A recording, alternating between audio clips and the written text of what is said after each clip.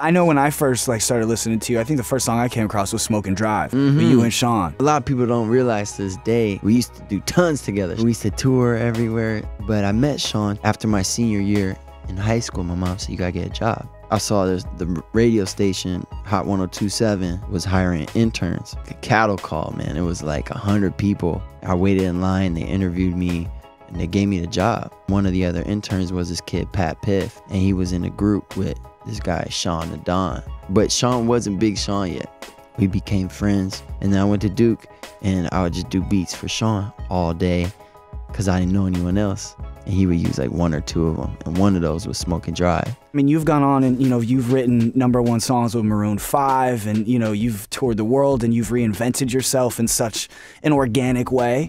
What switched in your head? Man, what really it was it we'll go back to Sean again. man. Really? It's crazy. It's crazy. He's ahead of the game on a lot of this stuff, man. Long story short, we, we you know schedules. We both touring. I I don't see him as much. So we so we hadn't seen each other in maybe a year, and we had talked. He said he was in the studio. We both in L.A. He said come to the studio, and he was like um.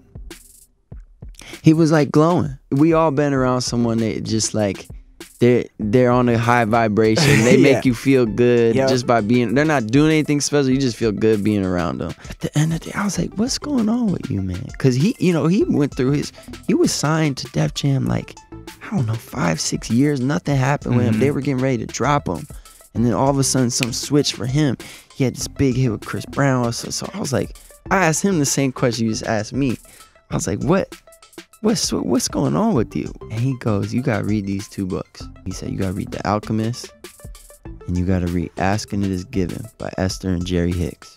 Man, those books like opened me up like a I don't know. I never believed in had no spiritual component to my life, and those books just opened me up.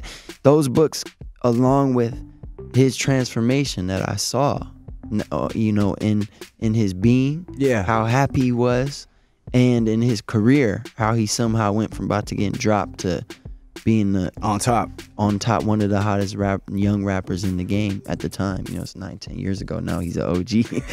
and then I thought, man, you know, it'd be cool if I like sang my raps. I was a rapper.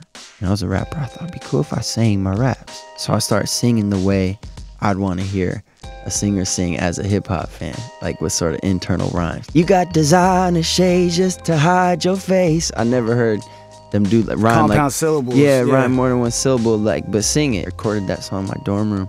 I came back to Michigan for like summer, and I played for Sean. He was like, you know, this this could be a hit song, and he got on it. A lot of people don't realize he he was on the original version of that song. I put it out, man, and it started to spread. He was right. I wouldn't be here if it wasn't for him, because psychologically, man, we were doing music, you know, and it was fun, but then he got signed that's my buddy. I rap with him all the time. I hang with him in the ciphers. We freestyle. You know, it's hip hop. I thought I was better than everyone. I thought I was better than him. You know, so it's like, man, he got signed. I could do this. Something switched in my brain right then, and without him accomplishing that goal for himself, I'd probably still be out to have a desk job somewhere. Wow. Awesome, man. Thank you so much. You can listen to my show on demand on Apple Music by clicking the info card above or the link below.